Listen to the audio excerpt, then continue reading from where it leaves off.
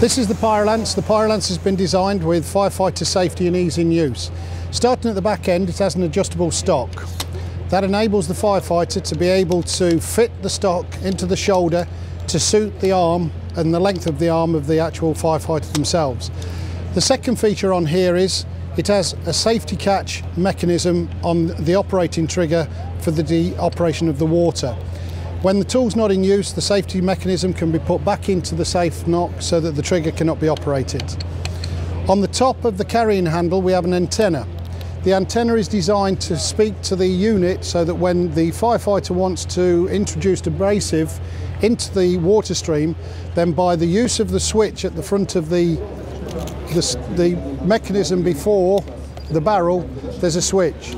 The operator operates the switch upward to put the abrasive into and down to knock off the abrasive. Also on the barrel of the Pyrolance we have an adjustable hand grip. This enables the firefighter to be able to stabilise the barrel before the cut.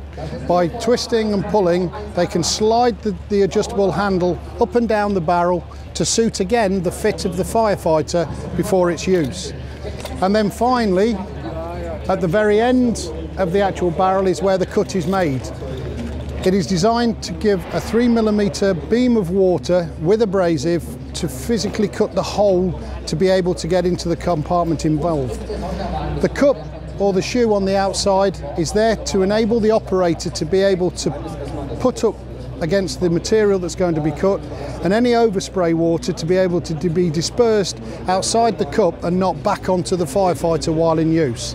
What we're now going to do is a short demonstration where Eric is going to use the lance to be able to cut through a brick wall.